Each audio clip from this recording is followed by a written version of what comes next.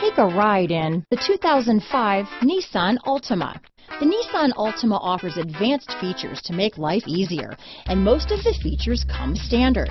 Combine that with the powerful engine, six standard airbags, and over 5,000 quality and performance tests, and you'll see the Nissan Altima is made to drive and built to last. Here are some of this vehicle's great options.